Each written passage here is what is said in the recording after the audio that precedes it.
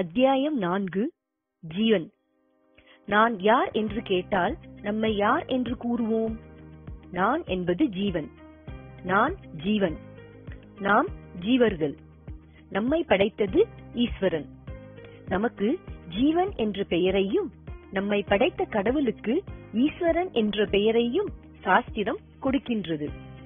நம்மை பற்றி நமக்கே தெரியும். நம்மை யார் என்று கேட்க தேவையில்லை.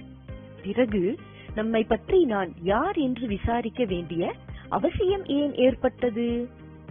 நாம் நமக்கு சொந்தமான காரில் பயணம் செய்கிறோம். நீங்கள் யார் என்று கேட்டால் என்ன சொல்வோம்? நான் எனக்கு சொந்தமான காரில் பயணம் செய்கிறேன் என்று கூறுவோம். நான் தான் கார் என்று கூற மாட்டோம் கார் என்னுடையது என்று கூறுவோம். நண்பனை பார்க்க காரில் செல்லாமல் நடந்து செல்வதாக வைத்துக் கொள்வோம்.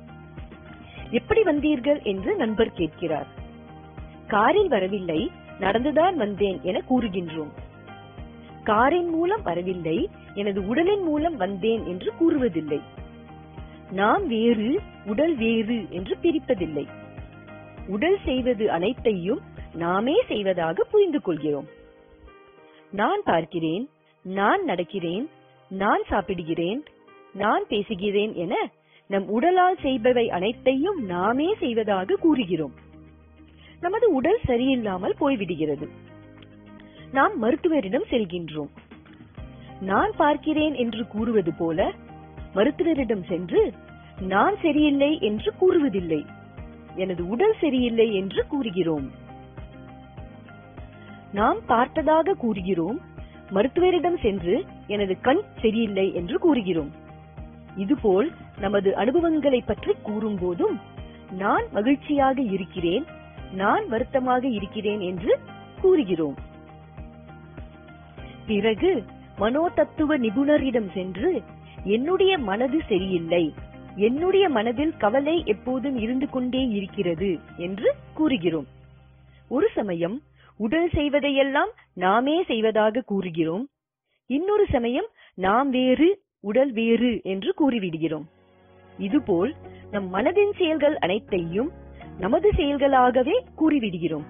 பிறகு நாமே நாம் வேறு நம் மனம் வேறு என்று கூறிவிடுகிறோம். நம்முடைய வீட்டை பொறுத்தவரையிலும் நாம் எப்போதுமே எனது வீடு என்றுதான் கூறுவோம். நமது வீட்டை நாம் ஒருபோதும் நான் என்று கூறுவதில்லை. ஆனால் நமது உடலை பொறுத்தவரையிலும் மனதை பொறுத்தவரையிலும் நமது அணுகுமுறை வேறு. உடலை சில சமயம் நான் என்கிற அர்த்தத்தில் கூறுகிறோம் இன்னொரு சமயம் எனது உடல் என்று கூறிவிடுகிறோம். இவ்வாறு நம் மனதையும் நான் என்று சில சமயம் கூறுகிறோம். பிறகு எனது மனது என்று இன்னும் ஒரு சமயத்தில் கூறிவிடுகிறோம். நம் உடலுக்கும் மனதுக்கும் ஆதாரமாக இருக்கும் ஆத்மாதான் உண்மையான நான். ஆத்மாதான் அடிப்படையான தன்மையாக இருந்து உடல் உணர்வுக்கும் மன உணர்வுக்கும் காரணமாக அமைந்துள்ளது. நம்மை ஒரு ஜீவனாக குறிப்பிடுகிறோம். இந்த ஜீவன் என்பது ஆத்மாவும் ஆத்மா அல்லாதவையும் சேர்ந்த கலவையாகும். ஆத்மா பிளஸ் அனாத்மா ஈக்குவல்ஸ் ஜீவன் என்று கூறப்படுகிறது. ஆத்மா அல்லாதவை அனாத்மா என்ற பெயரிட்டு அழைக்கப்படுகின்றன. ஆத்மா என்பதுதான் மெய்ப்பொருள். அதுதான் அடிப்படை அம்சம். அனாத்மா என்றால் என்ன? அனாத்மா என்று எவற்றை குறிப்பிடுகிறோம்? ஆத்மா அல்லாதவை என்று எவற்றை குறிப்பிடுகிறோம்? நாம் பார்க்கும் மரம் செடி கொடிகள் கடல் மலை இவற்றை அனாத்மா என்று கூறுகிறோமா? இல்லை. அனாத்மா என்று கூறப்படுபவை வேறு. அனாத்மா என்றால் என்ன? வேறு எவற்றை தான் அனாத்மா என்று கூறுகிறோம்? நமது உடல் மற்றும் மனதை தான் அனாத்மா என்று கூறுகிறோம். ஏனென்றால் அவற்றை தான் சில வேளைகளில் நம்மை அறியாமல் நான் என்று எடுத்துக்கொள்கிறோம். நாம் பார்க்கும் மலையையும் கடலையும் நான் என்று ஒருபோதும் எடுத்துக்கொள்வதில்லை. நமது உடல் மற்றும் மனம் ஆகியவை பதினோரு அம்சங்களாக பிரித்து விளக்கப்படுகின்றன. அந்த பதினோரு அம்சங்களும் மூன்று பிரிவுக்குள் வருகின்றன. இந்த மூன்று பிரிவுகள் தான் அனாத்மா என்று கூறப்படுகின்றன. அதென்ன மூன்று பிரிவுகள்? முதல் பிரிவுக்கு உடல் அல்லது ஷரீரம் என்ற பெயர். இரண்டாவது பிரிவுக்கு கோஷங்கள் என்று பெயர். மூன்றாவது பிரிவுக்கு அனுபவங்கள் அல்லது அவஸ்தை என்று பெயர். இந்த மூன்று பிரிவுகளும் சேர்ந்துதான் பதினோரு அம்சமாக விளக்கப்படுகின்றன. முதல் பிரிவான உடல் அல்லது சரீரம் மூன்று உடல்களாக விளக்கப்படுகின்றது. இரண்டாவது பிரிவான கோஷங்கள் ஐந்து கோஷங்களாக விளக்கப்படுகின்றன. மூன்றாவது பிரிவான அனுபவங்கள் அல்லது அவஸ்தைகள் மூன்று அனுபவங்களாக விளக்கப்படுகின்றன. மூன்று பிளஸ் ஐந்து பிளஸ் மூன்று ஈக்குவல்ஸ் பதினொன்று என்ற பதினோரு அம்சங்களாக அவை விளக்கப்படுகின்றன. முதலாவது பகுதியான உடல் ஸ்தூல உடல் சூக்ஷ்ம உடல் காரண உடல் என மூன்று உடல்களை குறிக்கிறது. இரண்டாவது பகுதியான கோஷங்கள் அன்னமய கோஷம் பிராணமய கோஷம் மனோமய கோஷம் விஞ்ஞானமய கோஷம் ஆனந்தமய கோஷம் என்ற ஐந்து கோஷங்களை குறிக்கின்றன. மூன்றாவது பகுதியான அனுபவங்கள் அல்லது அவஸ்தைகள் என்பவை ஜாகிரத் அவஸ்தை அல்லது விழித்த நிலை அனுபவம் சொப்ன அவஸ்தை என்ற கனவு அனுபவம் மற்றும் சுசுப்தி அவஸ்தை என்ற கனவற்ற தூக்கம் ஆகிய மூன்று வகையான அனுபவங்களை குறிக்கின்றன. மூன்று பிளஸ் ஐந்து பிளஸ் மூன்று ஈக்குவல்ஸ் பதினொன்று என்ற பதினோரு விதமான அம்சங்கள் அனாத்மா ஆகும். இந்த அனாத்மாவும் ஆத்மாவும் சேர்ந்த ஒன்றையே ஜீவன் என்று குறிப்பிடுகிறோம். இந்த ஸ்தூல உடல் என்பது என்ன? வெளிப்படையாக தெரியும் திடமான அம்சம் உடையதுதான் இந்த ஸ்தூல உடல். பஞ்சபூதங்களான நிலம் நீர் காற்று நெருப்பு ஆகாயம் ஆகியவற்றின் சேர்க்கையினால் உருவானதுதான் இந்த ஸ்தூல உடல். ஸ்தூல உடலின் உதவியினால்தான் ஒருவர் இன்ப துன்பங்களை அனுபவிக்க முடியும். நமது கர்ம வினையின் காரணமாக ஏற்படும் இன்ப துன்பங்களை அனுபவிப்பதற்காக கொடுக்கப்பட்டதுதான் இந்த ஸ்தூல உடல். இந்த ஸ்தூல உடல் ஆறு விதமான மாறுதல்களுக்கு தன்மைகளுக்கு உட்பட்டதாகும். கர்ப்பத்தில் உருவாகி இருத்தல் பிறத்தல் வளர்தல் தடித்தல் போன்ற சில மாற்றங்களை அடைதல் முதுமையினாலோ அல்லது நோயினாலோ செய்தல் மரணத்தினால் மறைந்து விடுதல். இப்படி ஆறு விதமான மாறுதல்களுக்கு உட்பட்டதுதான் ஸ்தூல சரீரம். ஸ்தூல உடல் என்பது இதுதான். இனி சூக்ஷ்ம உடல் என்றால் என்ன என்பதை பார்க்க போகிறோம். இந்த சூக்ம உடலானது பதினேழு அம்சங்களாக இருந்து செயல்படுகிறது. ஸ்தூல உடல் ஸ்தூலமான பஞ்சபூதங்களினால் உருவானது போல் இந்த சூக்ஷ்ம உடல் சூட்சமமான பஞ்சபூதங்களினால் உருவானது. ஸ்தூல பஞ்சபூதம் என்பவை வெளிப்படையாக தெரிந்த பஞ்சபூத சக்திகளாகும். சூக்ஷ்ம பஞ்சபூதங்கள் என்பவை வெளிப்படையாக தெரியாத பஞ்சபூத சக்திகளாகும். சூக்ஷ்ம பஞ்சபூதங்களிலிருந்துதான் ஸ்தூல பஞ்சபூதங்கள் உருவாகி உள்ளன. இந்த சூக்ஷ்ம பஞ்சபூதங்களால் உருவான இந்த சூக்ஷ்ம சரீரம்தான் நமது கர்ம வினைகளின் அம்சமாக உள்ளது. இந்த சூக்ஷ்ம உடலானது தனது கர்மவினைக்கேற்ற ஸ்தூல உடலை எடுத்துக்கொண்டு ஸ்தூல உடலின் மூலம் இன்ப துன்பங்களை அனுபவிக்கின்றது. இந்த சூக்ஷ்ம உடலானது பதினேழு விதமான சக்தி அம்சங்களுடன் செயல்படுகின்றன. இந்த பதினேழு அம்சங்களும் ஐந்து பிரிவுகளுக்குள் அடக்கப்படுகின்றன. அவையாவன ஐந்து ஞானேந்திரிய சக்தி ஐந்து கர்மேந்திரிய சக்தி ஐந்து பிராண சக்தி மனம் என்னும் சக்தி புத்தி என்னும் சக்தி. மொத்தம் ஐந்து ஐந்து ஐந்து ஒன்று ஒன்று. எல்லாம் சேர்ந்து பதினேழு. இந்த ஐந்து ஞானேந்திரிய சக்திகள் எவை தெரியுமா? காதுகளின் மூலமாக கேட்கும் அறிவு தோலின் மூலமாக தொட்டு உணரும் அறிவு கண்களின் மூலமாக காட்சியை ரசிக்கும் அறிவு நாவின் மூலமாக சுவையை உணரும் அறிவு மற்றும் மூக்கின் மூலமாக வாசனையை உணரும் அறிவு. இந்த ஐந்து விதமான அறியும் சக்திதான் ஐந்து வித ஞானேந்திரிய சக்திகளாகும். இவை எவையும் அவை செயல்படும் நமது ஸ்தூல உடலின் உறுப்புகளை குறிக்கவில்லை. அந்த உறுப்புகளில் செயல்படும் அறிவு அம்சத்தையே குறிப்பிடுகின்றன. இந்த ஐந்து ஞானேந்திரிய சக்திகள் ஒவ்வொன்றுக்கும் ஓர் அதிதேவதை அம்சமும் குறிப்பிடப்படுகிறது. கேட்கும் சக்திக்கான தேவதா அம்சம் திசைகளுக்கான தேவதையான திக் தேவதையாகும் தொட்டு உணரும் சக்திக்கான தேவதா அம்சமானது வாயுதேவன் ஆவார். பார்க்கும் சக்திக்கான தேவதா அம்சம் சூரிய தேவன் ஆவார். சுவையை உணரும் அறிவுக்கான தேவதா அம்சமானது வருண தேவன் ஆவார். வாசனையை உணரும் அறிவுக்கான தேவதா அம்சம் அஸ்வினி தேவர்கள் ஆவர். இவை அனைத்தும் சூக்ஷ்ம உடலின் ஐந்து அம்சங்களில் முதலாவது அம்சமான ஐந்து ஞானேந்திரிய சக்திகளாகும். அடுத்து நாம் பார்க்க போவது இரண்டாவது அம்சமான ஐந்து கர்மேந்திரிய சக்திகளாகும். ஞானேந்திரிய சக்திகளைப் போல் கர்மேந்திரிய சக்திகளும் ஐந்து வகையாக உள்ளன. ஞானேந்திரிய சக்திகள் ஐந்தும் அறியும் அம்சமாக உள்ளன. கர்மேந்திரிய சக்திகள் ஐந்தும் செயல் அம்சமாக உள்ளன. இந்த ஐந்து வித கர்மேந்திரிய சக்திகள் என்னென்ன?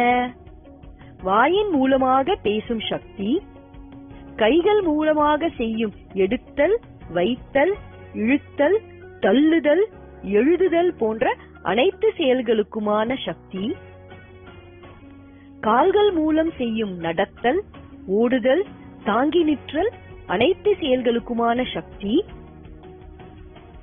மலவாய் மூலம் மலத்தை நீக்கும் சக்தி சிறுநீர் தாரை மற்றும் கருவாய் மூலம் சிறுநீர் கழித்தல் இனப்பெருக்கம் செய்தல் ஆகியவற்றுக்கான சக்தி. இந்த ஐந்து விதமான செயல்படும் சக்திகள் தான் ஐந்து கர்மேந்திரிய சக்திகள் ஆகும் இவை அனைத்தும் சக்தி அம்சங்களையே குறிப்பிடுகின்றன. இவை நமது உடலில் செயல்படும் உடல் உறுப்புகளை குறிப்பிடவில்லை. ஞானேந்திரிய சக்திகளுக்கு உள்ளது போல் இந்த ஐந்து கர்மேந்திரிய சக்திகளுக்கும் தனித்தனியே ஐந்து வித தேவதா அம்சங்கள் உள்ளன. பேசும் சக்திக்கு அக்னி தேவரும் கைகளை இயக்கும் சக்திக்கு இந்திர தேவரும் கால்களை இயக்கும் சக்திக்கு விஷ்ணு பகவானும் மலநீக்க சக்திக்கு யமதர்மரும் சிறுநீர் நீக்க சக்திக்கு பிரஜாபதி தேவரும் அதிதேவதா அம்சங்களாக உள்ளனர். இவை அனைத்தும் சூட்ச்ம உடலின் ஐந்து அம்சங்களின் இரண்டாவது அம்சமான ஐந்து கர்மேந்திரிய சக்திகளாகும். அடுத்ததாக நாம் பார்க்க போவது மூன்றாவது அம்சமான ஐந்து பிராணங்கள். பிராணன் என்றால் என்ன? பிராணன் என்பது வாயு எனப்படும் காற்று மட்டுமே. இந்த பிராணன் என்னும் காற்று நமது உடலுக்கு வெளியே செயல்படும் போது அது காற்று அல்லது வாயு என கூறப்படுகிறது. அதுவே நமது உடலுக்குள் சக்தியாக செயல்படும் போது பிராணன் என்று அழைக்கப்படுகிறது. அவை ஐந்து விதமாக செயல்படுகின்றன. அவை ஐந்து பிராணன்களாகும். அவற்றை மொத்தமாக குறிப்பிடும்போது பிராணன் என்று கூறுகிறோம். ஐந்தையும் தனித்தனியாக பிரித்து கூறும்போது அவற்றுக்கு தனித்தனி பெயர்கள் கொடுக்கப்படுகின்றன. அப்படி தனித்தனியாக ஐந்தாக பிரித்து கூறும் போதும் முதலாவது பிராணனுக்கு மட்டும் பிராணன் என்று பெயரையே கொடுத்துள்ளார்கள். ஐந்து பிராணன்களும் பிராணன் அபானன் தியானன் சமானன் உதானன் என்று ஐந்தாக பிரிக்கப்படுகின்றன. இந்த ஐந்து பிராணன்களும் என்ன செய்கின்றன? அவற்றின் பணி என்னென்ன? நாம் காற்றை சுவாசிக்கும் போது சுவாசித்த காற்றை வெளியே விடுகிறோம். அப்படி வெளியே விடும் காற்றைத்தான் முதலாவதாக வரும் பிராணன் என்று கூறுகிறோம். சுவாசிக்கும் போது உள்ளே இழுக்கும் காற்றிற்கு பெயர் அபானன் ஆகும். உள்ளே சென்ற காற்று உடலுக்கு உள்ளே இருந்து செயல்படுகிறது. இரத்த ஓட்டத்துக்கெல்லாம் இதுவே காரணமாகும். இப்படி வியாபித்து செயல்படும் பிராணனுக்கு பெயர்தான் வியானன் ஆகும். ஜீரண உறுப்புகளை இயக்கி ஜீரணிக்க உதவும் சக்தியை வழங்குவதுதான் சமானன் என்னும் பிராணன் ஆகும் தலைகீழாக செயல்படும் சக்திதான் உதானன் என்னும் பிராணன் ஆகும் அதென்ன தலைகீழாக செயல்படும் சக்தி? நாம் நமது வாயினால் சாப்பிட்ட உணவு உணவுக் குழாய் வழியாக இரைப்பையை சென்று அடைகிறது. இதுதான் வழக்கமான நேரடியான நடைமுறை. இது தலைகீழாக செயல்பட்டால் என்ன ஆகும்? வாயிலிருந்து வயிற்றுக்குள் செல்ல வேண்டிய உணவு அப்படி செல்லாமல் அதற்கு மாறாக வயிற்றிலிருந்து வாய் வழியாக வெளியே செல்வதுதான் தலைகீழாக செயல்படுவதாகும். அப்படி செயல்படுவதற்கு காரணமான பிராணன்தான் உதானன் ஆகும். ஏன் அப்படி செயல்பட வேண்டும்? தேவையற்ற பொருள் வயிற்றினுள் சென்றால் வாந்தியாகவும் சுவாச குழாயில் சென்றால் தும்மலாகவும் செயல்பட்டு தேவையற்றதை அப்புறப்படுத்த உதவுவதுதான் இந்த உதானன் ஆகும். மரண காலத்தில் ஸ்தூல உடலிலிருந்து சூக்ஷ்ம உடலை பிரித்து வெளியே கொண்டு வருவதற்கும் உதானந்தான் உதவி செய்கிறது. இவை அனைத்தும் சூக்ஷ்ம உடலின் ஐந்து அம்சங்களில் மூன்றாவது அம்சமான ஐந்து பிராணன்கள் ஆகும் அடுத்ததாக நாம் பார்க்க போவது நான்காவது மற்றும் ஐந்தாவது அம்சமான மனம் மற்றும் புத்தி ஆகியவை ஆகும். இவைதான் சூக்ஷ்ம உடலின் நான்காவது மற்றும் ஐந்தாவது அம்சங்கள் ஆகும் மனம் மற்றும் புத்தி ஆகிய இரண்டும் நமது எண்ணங்களால் உருவானவைகளாகும். சங்கல்ப விகல்பங்களே மனம் என்று கூறப்படுகிறது. இந்த ஊருக்கு போவதா? அந்த ஊருக்கு போவதா என முடிவெடுக்காமல் குழம்புவதுதான் சங்கல்ப விகல்பமாகும். இதுதான் மனதாகும். கோபதாபங்கள் மகிழ்ச்சி துயரம் போன்ற உணர்ச்சிகள் ஏற்படும் பகுதியும் மனதாகவே கருதப்படுகிறது. இதை ஆய்வுக்கு எடுத்து என்ன செய்வது என்ற தீர்மானத்துக்கு வருவதுதான் புத்தியாகும். மனம் புத்தி இரண்டுமே எண்ணங்களே ஆனாலும் இரண்டுக்கும் ஒரு சிறிய வேறுபாடுதான் உள்ளது. இப்படியா அப்படியா என அலைப்பாய்ந்து கொண்டிருப்பது மனது. அதில் ஒரு தீர்மானமான முடிவுக்கு வருவது புத்தியாகும். இப்படி நமது சூட்சும உடலானது ஐந்து ஞானேந்திரியங்கள் பிளஸ் ஐந்து கர்மேந்திரியங்கள் பிளஸ் ஐந்து பிராணன்கள் பிளஸ் ஒரு மனம் பிளஸ் ஒரு புத்தி ஆக மொத்தம் பதினேழு அம்சமாக அமைந்துள்ளது. நமது சூக்ஷ்ம உடல் எவ்வாறு அமைந்துள்ளது என்ற பட்டியல் படத்தையும் இதனோடு சேர்த்து பார்த்து புரிந்து கொள்ளலாம். ஆத்மாவும் அனாத்மாவும் சேர்ந்ததுதான் ஜீவன். அந்த அனாத்மா பதினோரு அம்சங்களாக உள்ளது. அந்த பதினோரு அம்சங்களையும் உடல் கோஷங்கள் அனுபவங்கள் என்னும் மூன்று பிரிவுக்குள் அடக்கியுள்ளோம். அந்த மூன்று பிரிவுகளுள் முதலாவது பிரிவான உடல் என்றால் என்ன என்பதை பார்த்து வருகிறோம். உடல் என்பது ஸ்தூல உடல் சூக்ஷ்ம உடல் காரண உடல் என மூன்று அம்சங்களாக உள்ளது. அந்த மூன்று உடல்களில் ஸ்தூல உடல் மற்றும் சூக்ஷ்ம உடல் ஆகிய இரண்டையும் பார்த்துள்ளோம். இனி நாம் பார்க்க போவது மூன்றாவது உடலான காரண உடலாகும். காரண உடல் அல்லது காரண சரீரம் என்று இது அழைக்கப்படுகிறது. காரண உடல் என்றால் என்ன? அது எவ்வாறு அமைந்துள்ளது? ஸ்தூல உடலையும் சூக்ஷ்ம உடலையும் நாம் ஏதோ ஒரு வகையில் அனுபவித்து புரிந்து கொள்கிறோம். காரண உடலை நாம் அவ்வாறு அனுபவித்து புரிந்து கொள்ள முடியாது. ஏனெனில் அது அதனளவில் விளக்கமில்லாமல் இருக்கிறது. ஒரு மாமரத்தை எடுத்துக்கொள்வோம்.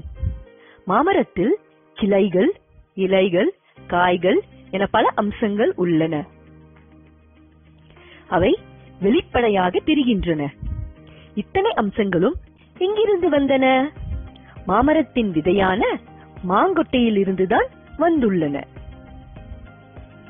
அந்த மாங்கொட்டைக்குள் மாமரத்தின் கிளைகளையும் இலைகளையும் காய்களையும் தனித்தனியே எங்கிருக்கிறது என்று பிரித்து அறிந்து கொள்ள முடியுமா?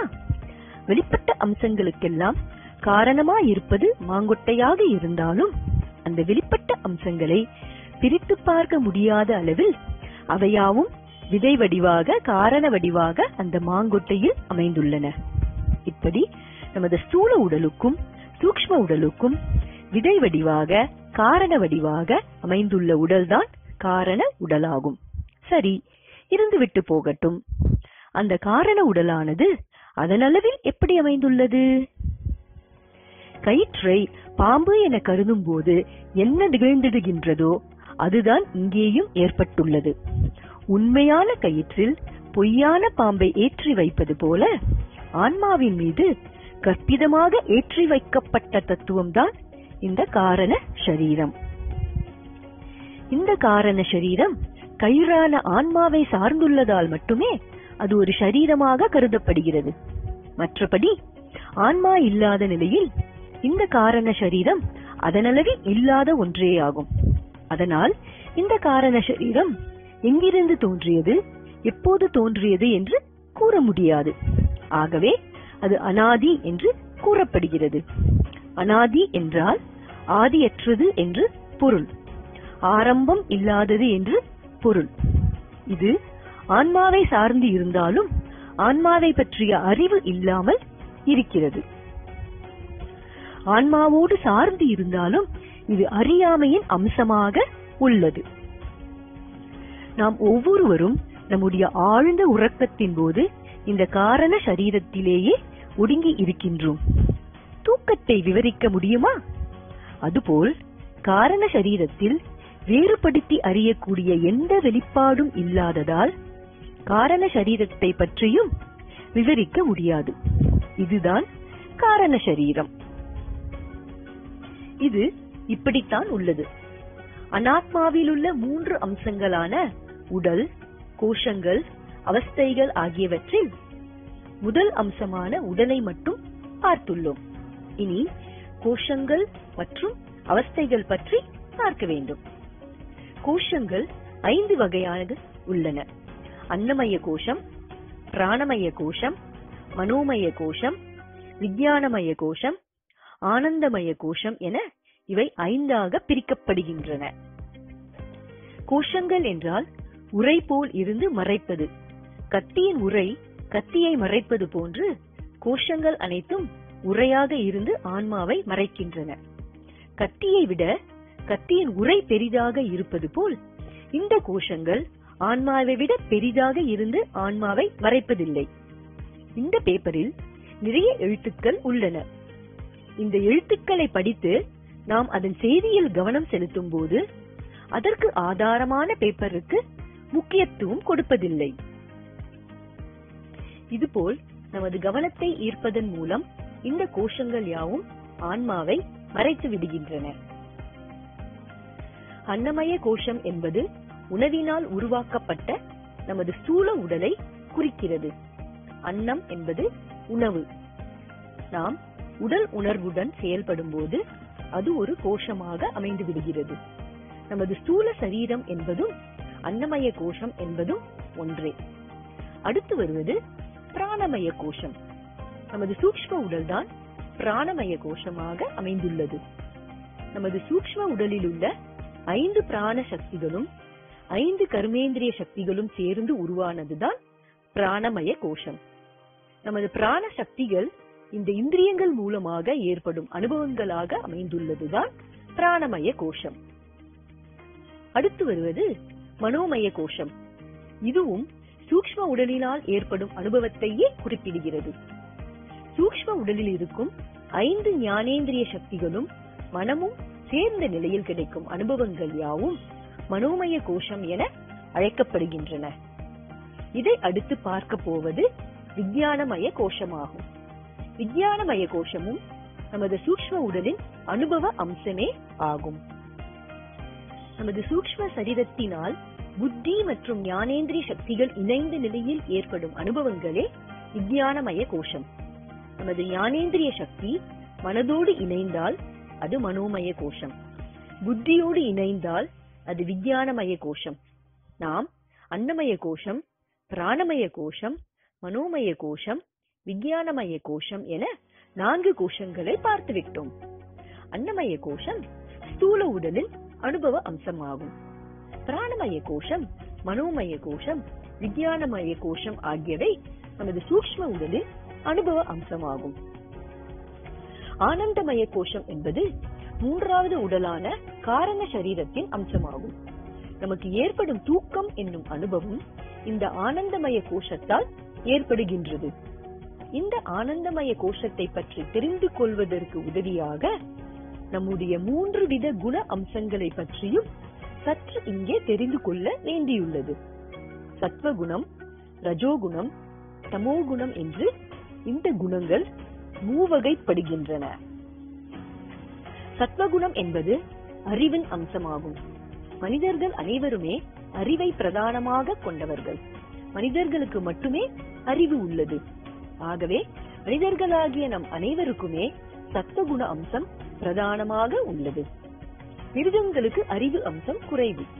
செயல்படும் அம்சமே அதிகம். அதனால் மிருகங்கள் அனைத்தும் ரஜோகுண அம்சமாக உள்ளன. இயற்கையான மண் மரம் செடி கொடிகள் மந்தமான செயல்பாடுகளையும் அறிவு வளர்ச்சி அடையாத தன்மையையும் கொண்டன. இது தமோ குணத்தின் அம்சமாகும். சத்வகுணம் என்பது அறிவு அம்சம். ரஜோகுணம் என்பது செயல்படும் அம்சம். தமோகுணம் என்பது செயல்படாத அம்சம். நமக்கு சத்வகுண அம்சம் பிரதானமாக இருந்தாலும் மற்ற குண அம்சங்களும் சில சமயங்களில் மேலோங்குகின்றன. அப்படி மாறுபாடு ஏற்பட்டால்தான் நாம் எல்லாவித செயல்களிலும் ஈடுபட முடியும். அறிவின் மூலமாக நாம் தெரிய வேண்டியது எல்லாம் தெரிந்து கொள்வதற்கு சத்வகுணம் தேவைப்படுகிறது. தெரிந்து கொண்டதை செயல்படுத்த ரஜோகுண அம்சம் தேவைப்படுகிறது. செயல்பட்டால் மட்டும் போதுமானது அல்ல. செயல்படாமல் இருக்கும் ஓய்வும் தேவை. அதற்கு தமோகுணத்தின் வெளிப்பாடு தேவை. நாம் தூங்க வேண்டுமானால் நமது சத்வம் மற்றும் ரஜோகுண அம்சங்கள் அடங்கிய நிலையில் தமோகுணம் மட்டும் மேலோங்கினால் மட்டுமே சாத்தியம். தூக்கத்தின் போது சத்வம் என்னும் அறிவு அடங்கி விடுவதால் தூக்கம் என்பது அஜ்ஞான வடிவாக உள்ளது.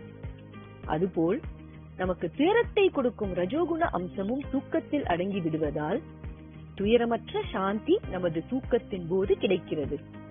இதனால் இதனை ஆனந்த அம்சமாக கூறுகிறோம். நாம் விழித்திருக்கும் போது கூட நமது அறிவும் செயல்படும் சக்தியும் சாந்தி அடைந்த நிலையில்தான் ஆனந்தம் ஏற்படுகிறது.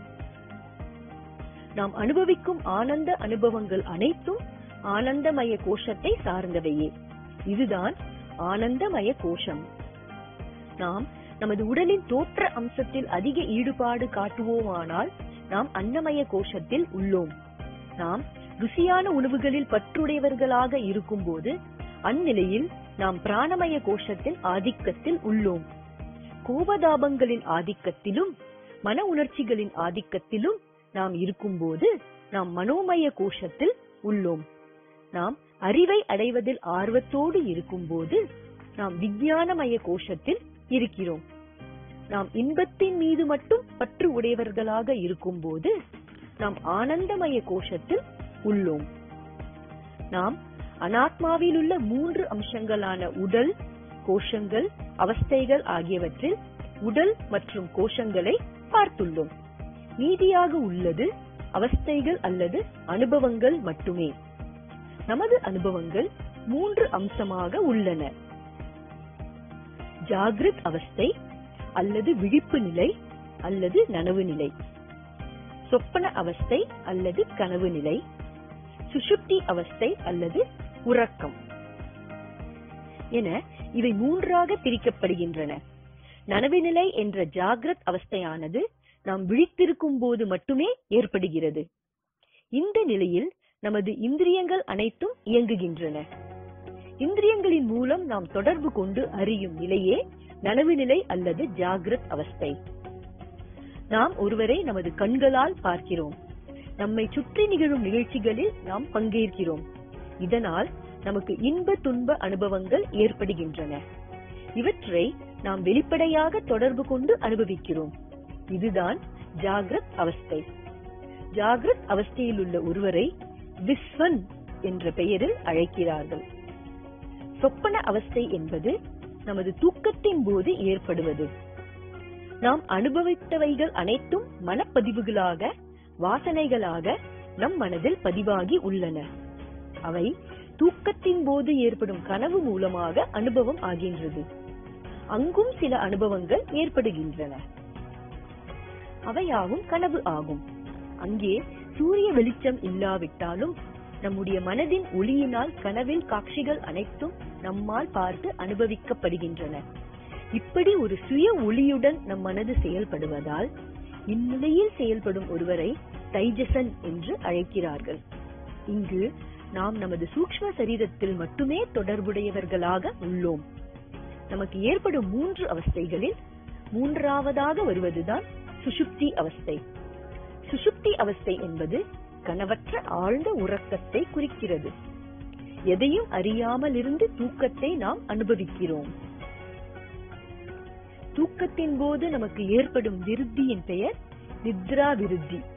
இந்த சுஷுப்தியானது காரண சரீரம் மற்றும் ஆனந்தமய கோஷத்தின் அம்சத்தை உடையதாக உள்ளது. இதனால் இங்கு அறியாமையும் சாந்தி நிலையும் உள்ளது. காரண சரீரத்தின் அம்சமாக உள்ள ஒருவனை பிராக்யன் என்று அழைக்கிறார்கள். இவ்வாறு ஜீவனுக்கு காரணமான அனாத்மா தத்துவங்களான உடல் கோஷங்கள் அவஸ்தைகள் ஆகியவற்றை சாஸ்திரங்கள் விளக்குகின்றன. ஆத்மாவும் அனாத்மாவும் சேர்ந்த அம்சமே ஜீவன் என்பதை பார்த்தோம். அனாத்மா என்றால் என்ன என்பதை பார்த்துவிட்டோம். இனி ஆன்மா என்றால் என்ன என்பதையும் பார்த்து விடுவோமானால் ஜீவன் என்பது எவ்வாறு உள்ளது என்ற முழு அம்சமும் தெளிவாகிவிடும். ஆன்மா என்பது என்ன? ஆன்மாவின் ஸ்வரூபம் எது? ஆன்மாவின் தன்மை எது? ஆன்மாவின் சொரூபம் சச்சிதானந்தம் என்று கூறப்படுகிறது. சத் பிளஸ் சித் பிளஸ் ஆனந்தம் சச்சிதானந்தம். இவ்வாறு அது கூறப்படுகிறது. ஆன்மா மட்டுமே உண்மை பொருள். அது மட்டுமே உண்மையாகவும் நிரந்தரமாகவும் உள்ளது. இதை குறிப்பிடும் வகையில் அது சத் சொரூபமாக உள்ளதாக கூறப்படுகிறது. அப்படி எது நித்தியமாகவும் சத்தியமாகவும் உள்ளது? சித் அம்சம்தான் அப்படி சத்தியமாக உள்ளது. சித் என்பது அறிவு. அதுதான் சைத்தன்யம் உயிர் அம்சம் என்று கூறப்படுகிறது. எவரும் தன்னை ஒரு ஜடமாக அறிவற்ற ஒன்றாக கருதுவதில்லை. அறியும் அம்சமே நம்முடைய பிரதான அம்சமாக உள்ளது. நாம் நமது குழந்தையை அறியும் போது நாம் தாய் அல்லது தகப்பனாக இருந்து அறிகிறோம். அறியும் பொருள் இருக்கும் போது அறிபவன் இருக்கிறான். அறியும் பொருள் இல்லாவிட்டால் அறிபவனும் இல்லாமல் போய்விடுகிறான். ஆனால் அறிவு என்னும் அறியும் தன்மை இல்லாமல் போய்விடுவதில்லை. அறியப்படும் பொருளுக்கும் அறிபவனுக்கும் ஆதாரமாக உள்ளதுதான் அறிவு. அந்த அறிவுதான் சித் என்று கூறப்படுகிறது. இந்த அறிவுதான் அறியப்படும் பொருளை அறியும் நிலையில் அறிபவனாகவும் தோற்றமளிக்கிறது. சைத்தன்யமாக இருக்கும் அறிவு சுரூபமாக இருக்கும் இந்த ஆன்மாதான் அனாத்மாக்களின் மூலமாக பலவிதமான அனுபவங்களை அறிகிறது. ஆன்மாவின் அடுத்த அம்சம் ஆனந்தம். ஆனந்தம் என்பது ஒரு முரண்பாடற்ற தன்மையை குறிக்கிறது. இதை அனந்தம் என்றும் குறிப்பிடலாம். அனந்தம் என்றால் எல்லைப்படுத்தி அறிய முடியாதது அளவிட முடியாதது என்று பொருள். கால தேச வர்த்தமானங்களால் வரையறுக்கப்படாதது இது. ஆகவே இதனை நிறைவானது என்றும் பூரணமானது என்றும் கூறிவிடலாம். இது நிறைவானதாக இருப்பதால் இதனை சுகஸ்வரூபம் அல்லது ஆனந்த சொரூபம் என்றும் கூறலாம். இதுதான் ஆன்மா. நான் என்பதின் மெய்யான அம்சம் இந்த ஆன்மாதான்.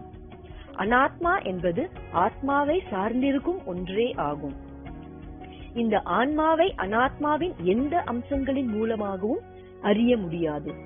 ஆனால் ஆன்மாதான் அனாத்மாவின் செயல்பாடுகளுக்கான காரண அம்சமாக உள்ளது. இதுதான் ஜீவன். அதன் பட்டியல் படம் பின்வருகிறது.